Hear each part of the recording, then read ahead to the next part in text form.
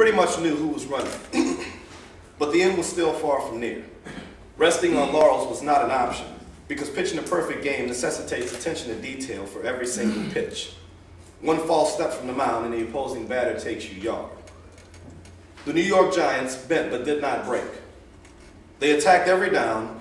They willed themselves to a lead for a good portion of the second half. But even with all their hard work, they still found themselves in need to make plays in the final moments instead of trying to preserve a victory.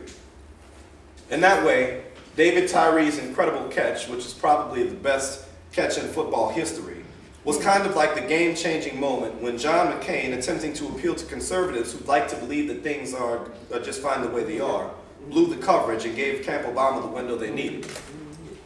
Now, one could argue that the crucial moment was when McCain asked Sarah Palin to keep him company, and the initial electricity Yes, sound yes. surrounding that faded into skepticism and even disbelief at the irresponsibility. But even with that misstep, and even with Obama's perfectly executed game plan, the final touch came when McCain boldly pronounced the foundation of the economy was sound, only to see it collapse just moments later. Camp Obama had found Plaxico and one-on-one coverage in the back of the end zone, and at this point all they needed was to prevent Brady from getting a deep one past him. McCain struggled to stay afloat, and for that matter tried desperately to make waves as the campaign closed. But it's hard to make a ripple in that pool sitting next to Obama, who's got the jacuzzi bubbles popping. no one ever really bought into McCain's attempts to grab back momentum. And although his supporters publicly congratulated with their support for his debate performances, they quietly divided and compartmentalized blame, planning their escape routes. Uh-huh. On November 4th, 2008, there was a magical feeling about it. It swept from the shores of the Atlantic all the way across the world and back again. Billions of people, electric currents of change running through them, anticipated what we all knew was coming, even though we still could not believe it. There aren't too many days when you wake up and know the world will be different by the time you go to sleep. Most of our landmark days sneak up on us in some harsh and welcome way, like waking up to airplane bombs over Manhattan skylines, or watching people who escaped house-high water drown in government neglect. But this day, every second that ticked by brought us closer to our new president and closer to a connection with our fellow Americans most of us had never known.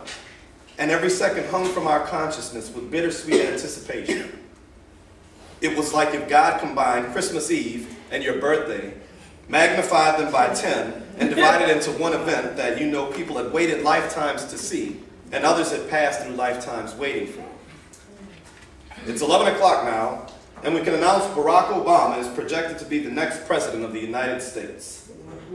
They flash a screen of an American map, and on the left side, the three states that were once ago gray now turn blue, with the number 284 beaming back at me. Mm-hmm. There is a world parties as cameras flash all over the country, with people of all ethnicities screaming at the top of their lungs.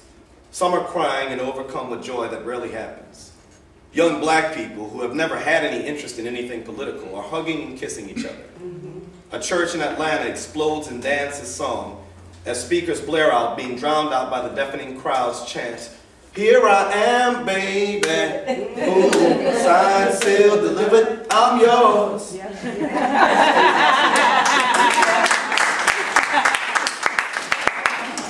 take a moment to embrace the sincerity on these people's faces. People personally invested in a man who will never know them individually. People I will never meet, but am connected to with the deepest of my emotions. I keep hearing these guys talk about how this victory isn't, isn't about black America, it's about all of America. And maybe that's true, but it's about black America.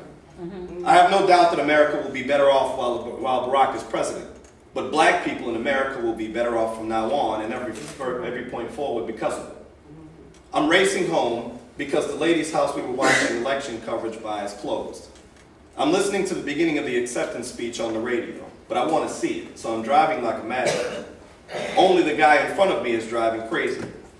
I think to myself, at least they'll have to stop him before me. But then I decide to pass him because I have a black president now, and that makes me immune to jail anyway. I pull up to the house and run to the door, and the car I was racing with pulls in the driveway behind me, and I realize the crazy driver was my dad.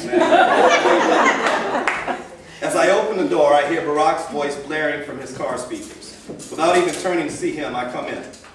I only have two memories of watching an election of any kind. The primary when Jesse Jackson lost a bid to be the Democratic nominee, and when Mondale was defeated by Reagan. I was sitting with my parents on both occasions. Both times we were on the wrong side of victory. Both times feeling that sense of hopelessness I had talked about earlier. By the time Bush Jr. was being put into office, I think I was too dispassionate to even care about elections anymore. But 2008 had renewed for this family an interest and investment with our election process and our America. I run to the TV, and in, in the next room, I hear my dad popping the champagne bottle as I listen to Barack speak to the world. He tells us about a woman who, in her youth, didn't even have the imagination to consider a black president, since it wasn't obvious that at that time she would ever be able to vote, or for that matter, share water fountains with white folks, or live out the reign of the KKK. He tells those who didn't vote for him that he's their president too, like it or not. He doesn't say the like it or not because he's not an, an antagonistic person. Right. But the 60 million of us that voted for him here, he speaks of those of us who've been forced into cynicism and skepticism about our government and how, how we can feel good about ourselves now. And I wonder for a second if he's been reading my blog where cynicism and skepticism thrive. He stands tall atop the mountain Warren tried to climb before being pulled back down, and to all the world speaks with the authority of a president the reverence of a man taking on a task larger than himself, and the confidence of a leader with billions of followers, simultaneously chanting his name as if Obama is a Latin root that means yes we can. Mm-hmm. I thought of all the people who felt so passionately for this man. All the ideals I had assumed when I was young that one should feel for the man we call president came pouring out in me and reflected on the face of Americans from the streets of San Francisco to Grant Park, down south to Atlanta, back up to Harlem. Their approval was mirrored across the Atlantic to Africa, right through Europe, to China, and then back again to America. Hmm. In my youth, I would visualize myself in place of a Secret Service agent and wonder what motivated a man to have a job that might mean dying for another man. I never saw the face of a man I would die for in any of these men. Hmm. I'm sorry, that might have needed protection. For that matter, I couldn't even say I understood the motivations of servicemen and women who defended a country at the mandate of men mandating for personal gain. But on this night, I looked on through glassy eyes at the only man not related to me I would die for, because I would be doing it for my country, which I've never believed more strongly is a place worth dying for.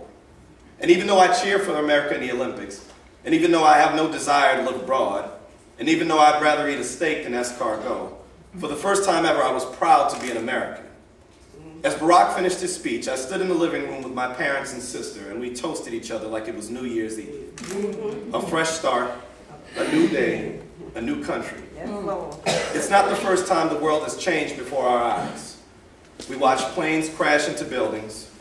We watched our city swamp and burn. But all those events, all those martyrs did not happen for nothing. They did not happen so that rich men could get richer, gouging gas prices and selling us war helicopters. They died and we suffered through it, so we can reach this day when all of mankind is better off because we have someone like us who feels that government is not here to exploit a people, but to serve and protect the people. And on this day, we can look into the eyes of a man who speaks from his heart the same sentiments we feel in ours. His heart and ours speak, yes, we can. He states we are not celebrating because we won an election but merely the chance to put things right that had gone astray. But I submit we have already won, because somewhere there's a little boy who can toss aside a Vibe magazine and find his identity in a Newsweek. Mm -hmm. We have already won because the world now remembers that integrity and service are the kind of things that make leaders, and those who strive to be leaders will strive for those qualities. We have won because the world is already a better place when Joe Biden's white, blonde-haired grandkids can stand on a stage and hold hands and hug Barack's nappy-haired black kids in front of the whole world. And Martin Luther King can stop rolling in his grave waiting for it to happen. We have already won because Barack Obama is president, and all it took was 400 years of inequality and two years of perfection.